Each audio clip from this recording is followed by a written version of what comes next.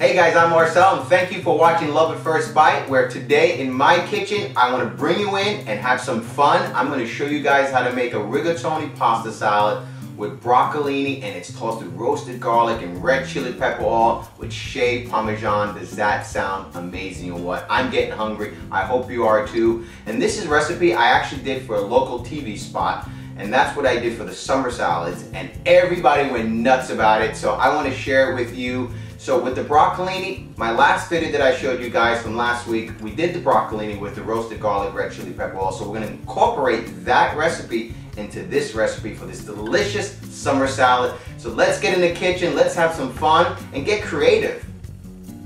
So I went ahead and cooked up a pound of rigatoni pasta, make sure it's nice and al dente, put it aside and let it cool. And then again, from last week's video, I have that roasted garlic, red chili pepper oil, and then I went ahead from last week's video again with the broccolini. I steamed it and I put it aside. And the next step is we're gonna cut it up into pieces and add it into the pasta.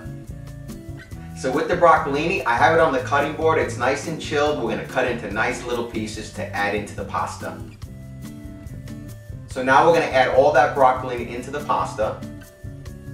Then we're gonna drizzle all that roasted garlic oil all on top and mix it in together. Then add some salt. Then some freshly ground pepper. And then some shaved Parmesan. And we're gonna toss all that love together. And then we're gonna add some more love in there, which is some more shaved Parmesan.